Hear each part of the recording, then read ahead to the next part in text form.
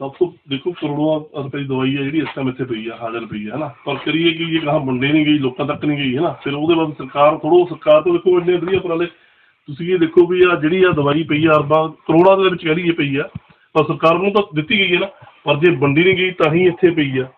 ਠੀਕ ਆ, ਆਪਾਂ ਨੂੰ ਇਹੀ ਆ ਵੀ ਜਿੰਨਾ ਵੀ ਲੋਕਾਂ ਨੂੰ ਵੱਧ ਤੋਂ ਵੱਧ ਲਾਭ ਮਿਲੇ ਇਸ ਚੀਜ਼ ਦਾ, ਤੇ ਉਹਨਾਂ ਸਰਕਾਰ ਨੂੰ, ਸਰਕਾਰ ਇਹ ਆ ਵੀ ਜੋ ਆਪਣੇ ਵਾਅਦੇ ਕੀਤੇ ਨੇ ਉੱਤੇ ਪੂਰਾ ਅਹ ਖਰਾ ਉਤਰਦੀ ਹੈ ਜੀ।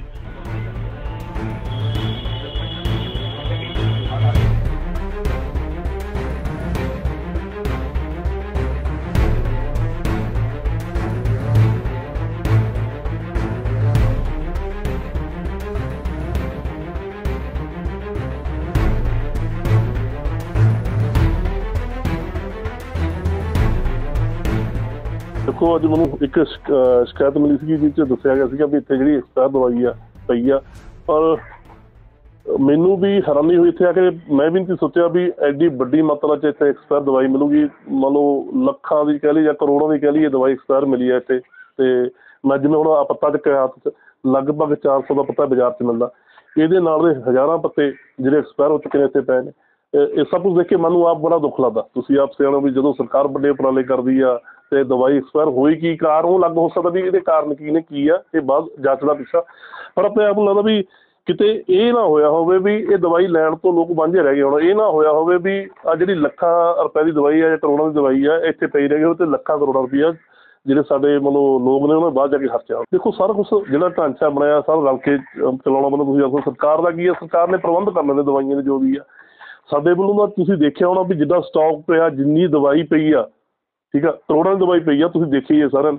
ਠੀਕ ਆ? ਸਰਕਾਰ ਤਾਂ ਆਪਣਾ ਬਣਦਾ ਕੰਮ ਕਰ ਰਹੀ ਆ, ਪਰ ਗਾਹਾਂ ਕੀ ਹੋ ਰਿਹਾ, ਕੀ ਨਹੀਂ ਹੋ ਰਿਹਾ, ਇਹ ਅਲੱਗ ਜਾਚਣਾ ਵੀ ਸਰ ਤੁਸੀਂ ਅੱਜ ਦੇਖਿਆ ਵੀ ਮੈਂ ਇਹ ਤੋਂ ਬਗੈਰ ਦੱਸਾਂ ਵੀ ਕਿੰਨੀਆਂ ਹੀ ਦਵਾਈਆਂ ਪਈਆਂ ਨੇ, ਕੋਈ ਕੋਈ 2021 ਐਕਸਪਾਇਰ ਹੋਈ ਆ, ਕੋਈ 2022 ਚ ਹੋਈ ਆ, ਹੈਨਾ?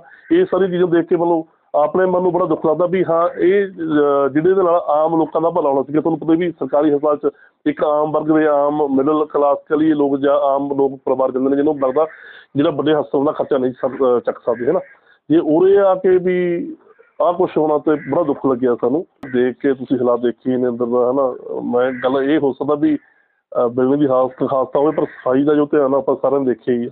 ਤੇ ਆਪਣੇ ਮਨ ਨੂੰ ਬੜਾ ਦੁੱਖ ਹੋਇਆ ਸਭ ਕੁਝ ਦੇਖ ਕੇ। ਠੀਕ ਹੈ ਪਰ, ਇਹ ਕੀ ਕਿਵੇਂ ਹੋਇਆ, ਇਹ ਦੇਖਦੇ ਆ ਜੋ ਵੀ ਉਸ ਸੰਬੰਧਿਤ ਅਧਿਕਾਰੀ ਹੈਗਾ, ਜਿਹਦੀ ਉਹ ਗੱਲ ਕਰਕੇ ਜਾਂ ਸਭ ਕੁਝ ਹੋਇਆ, ਠੀਕ ਹੈ ਉਹਦੇ ਬੰਦੋ ਬਣਦੀ ਕਾਨੂੰਨੀ ਕਾਰਵਾਈ ਕਰਵਾਉਣਗੇ ਜ਼ਰੂਰ।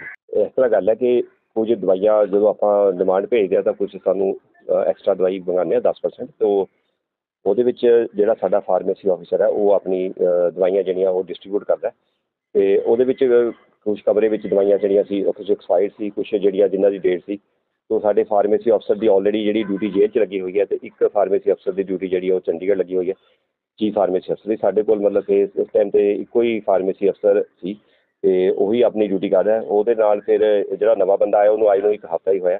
ਤੇ ਅਸੀਂ ਕੱਲ੍ਹ ਹੀ ਕਮੇਟੀ ਬਣਾਈ ਤੇ ਉਹ ਕਮੇਟੀ ਦੇ ਨਾਲ ਅਸੀਂ ਇਹਨਾਂ ਨੂੰ ਸਾਰਾ ਸਟਾਕ ਚੈੱਕ ਕਰਨ ਲਈ ਤੇ ਜਿਹੜੀ ਦਵਾਈ ਐਕਸਪਾਇਰ ਜਿਹੜੀ ਹੁੰਦੀ ਆ ਉਸ ਨੂੰ ਅਸੀਂ ਸੌਟ ਆਊਟ ਕਰਕੇ ਜਿਹੜੀਆਂ ਵੀ ਸਰਕਾਰ ਦੀਆਂ ਹਦਾਇਤਾਂ ਅਨੁਸਾਰ ਬਾਇਓਮੈਡੀਕਲ ਵੇਸਟ ਵਾਲਿਆਂ ਨੂੰ ਦੇਵਾਂਗੇ ਤੇ ਕੁਝ ਦਵਾਈਆਂ ਅ, ਪਹਿਲਾ ਫਾਰਮੇਸੀ ਅਫਸਰ ਜਿਹਦੀ ਜੇਲ੍ਹ 'ਚ ਡਿਊਟੀ ਲੱਗੀ ਆ ਉਸਨੇ ਪਿਛਲੇ ਜਿਹੜੀਆਂ ਸੀਗੀਆਂ ਕੁਝ ਦਵਾਈਆਂ ਉਹਨੂੰ ਜਿਵੇਂ ਆਪਾਂ ਨੂੰ ਡਿਸਕਾਰਡ ਕਰਨਾ ਹੁੰਦਾ ਉਹ ਨਹੀਂ ਕੀਤਾ ਗਿਆ ਤਾਂ ਇਸ ਕਰਕੇ ਥੋੜਾ ਸਟਾਕ ਜ਼ਿਆਦਾ ਇਕੱਠਾ ਹੋ ਗਿਆ ਕਿਉਂਕਿ ਉਹਨੇ ਜੋ ਪਹਿਲਾਂ ਉਹਦੀਆਂ ਹੋ ਗਈਆਂ ਡਿਸਕਾਰਡ ਕੁਝ ਸਮਾਂ ਪਹਿਲਾਂ ਉਹਨੇ ਨਹੀਂ ਡਿਸਕਾਰਡ ਕੀਤਾ ਸੋ ਜਿਹੜੀਆਂ ਕਿ ਉਹਨੂੰ ਕਰਨੀਆਂ ਚਾਹੀਦੀਆਂ ਸੀਗੀਆਂ ਸੋ ਉਹ ਆਪਾਂ ਜਾਂਚ ਕਰਕੇ ਜਿਹੜੀ ਵੀ ਗਲਤੀ ਹੋਏਗੀ, ਜਿਹੜੀ ਉਹਨੇ ਪਹਿਲਾਂ ਐਕਸਪਾਇਰ ਜਿਹੜੀਆਂ ਨਹੀਂ ਦਿੱਤੀਆਂ ਜਾਂ ਉਹਨੇ ਜਿਹੜੀਆਂ ਨੇੜੇ ਐਕਸਪਾਇਰ ਸੀ, ਉਹ ਪਹਿਲਾਂ ਨਹੀਂ ਦਿੱਤੀਆਂ, ਤੇ ਉਹ ਉਸ ਨੂੰ ਆਪਾਂ ਪੁੱਛ ਕੇ ਜਾਂਚ ਕਰਕੇ ਜੋ ਉਹਦੀ ਬਣਦੀ ਕਾਰਵਾਈ ਹੋਗੀ ਉਹਦੇ ਅਗੇਂਸਟ ਕਰਾਂਗੇ। ਡਾਕਟਰ ਸਾਹਿਬ ਨੂੰ ਇੱਕ ਸ਼ਿਕਾਇਤ ਮਿਲੀ ਸੀ ਵੀ ਜਿਹੜੀ ਦਵਾਈਆਂ ਨੇ ਸਿਵਲ ਹਸਪਤਾਲ ਦੇ ਵਿੱਚ ਕਾਫੀ ਵੱਡੀ ਗਿਣਤੀ ਦੇ ਵਿੱਚ ਐਕਸਪਾਇਰ ਹੋ ਗਈਆਂ ਨੇ ਤੇ ਉਹ ਲੋਕਾਂ ਨੂੰ ਦਿੱਤੀਆਂ ਨੇਗੀਆਂ। ਉਸੇ ਸੰਬੰਧ ਦੇ ਵਿੱਚ ਅੱਜ ਐਮਐਲਏ ਸਾਹਿਬ ਆਏ ਸੀਗੇ ਤੇ ਬਾਕੀ ਦੇਖਣ ਨੂੰ ਮਿਲਿਆ ਵੀ ਜਿਹੜੀਆਂ ਕਰੋੜਾਂ ਰੁਪਏ ਦੀ ਦਵਾਈ ਆ ਉਹ ਇੱਥੇ ਪਈ ਪਈ ਐਕਸਪਾਇਰ ਹੋ ਗਈ ਜਦੋਂ ਕਿ ਜਿਹੜੇ ਗਰੀਬ ਲੋਕ ਨੇ ਇੱਥੇ ਦਵਾਈ ਲੈਣ ਆਉਂਦੇ ਨੇ, ਉਹਨਾਂ ਨੂੰ ਬਾਹਰੋਂ ਮੁੱਲ ਖਰੀਦ ਕੇ ਦਵਾਈ ਲੈਣੀ ਪੈ ਰਹੀ ਹੈ, ਜਿਹੜਾ ਕਿ ਉਹਨਾਂ ਵਾਸਤੇ ਸੰਭਵ ਨਹੀਂ ਹੈਗਾ, ਤਾਂ ਹੀ ਉਹ ਸਰਕਾਰੀ ਹਸਪਤਾਲ ਦੇ ਵਿੱਚ ਆਉਂਦੇ ਨੇ।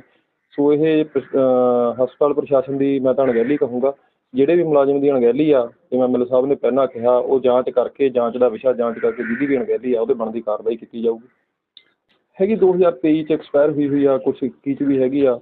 ਅਤੇ ਇੱਕ ਥੋੜ੍ਹੀ ਜਿਹੀ ਗੱਲ ਇੱਕ ਇਹ ਵੀ ਲੱਗੀ ਆ ਵੀ ਐਕਸਪਾਇਰ ਦਵਾਈਆਂ ਦੇ ਨਾਲ ਨਾਲ ਜਿਹੜੀਆਂ ਦੀ ਹਜੇ ਡੇਟ ਹੈਗੀ ਆ, ਉਹ ਵੀ ਦਵਾਈਆਂ ਸਟੋਰ ਦੇ ਵਿੱਚ ਉੱਦਾਂ ਪਈਆਂ ਨੇ ਵੀ ਆਉਣ ਵਾਲੇ ਦਿਨਾਂ ਦੇ ਵਿੱਚ ਇੱਥੋਂ ਮੈਨੂੰ ਲੱਗਦਾ ਵੀ ਐਕਸਪਾਇਰ ਹੋ ਕੇ ਨਿਕਲਣੀਆਂ ਸੀ ਜੇ ਆਪਣੇ ਧਿਆਨ ਦੇ ਵਿੱਚ ਨਾ ਮਸਲਾ ਆਉਂਦਾ। ਸੋ ਇੱਕ ਪ੍ਰਸ਼ਾਸਨ ਦੀ ਉਹ ਅਣਗਹਿਲੀ ਕਹਿ ਸਕਦਾ, ਜਿਹੜੇ ਵੀ ਅਧਿਕਾਰੀ ਦੀ ਹੈਗੀ ਆ ਜਾਂਚ ਕਰਕੇ ਕੋਈ ਵੀ ਦੋਸ਼ੀ ਪਾਇਆ ਜਾਂਦਾ, ਉਹ ਤੇ ਕਾਰਵਾਈ ਕੀਤੀ ਜਾਵੇ ਉਹੀ ਤੁਹਾਡੇ ਨਾਲ ਪਹਿਲਾਂ ਕਹਿ ਕੇ ਹਟਿਆ ਵੀ ਉਹ ਇਸ ਤਰ੍ਹਾਂ ਦੀ ਜਗ੍ਹਾ ਤੇ ਪਈਆਂ ਨੇ, ਜਿਨ੍ਹਾਂ ਦੀ ਡੇਟ ਰਹਿੰਦੀ ਵੀ ਆ, ਵੀ ਉਹ ਜੇ ਆਪਾਂ ਅੱਜ ਨਾ ਆਉਂਦੇ ਤਾਂ ਐਕਸਪਾਇਰ ਹੋ ਜਾਣੀਆਂ ਨੇ। ਮੈਂ ਉਹੀ ਚੀਜ਼ ਦਾ ਹਵਾਲਾ ਤੁਹਾਨੂੰ ਦਿੱਤਾ।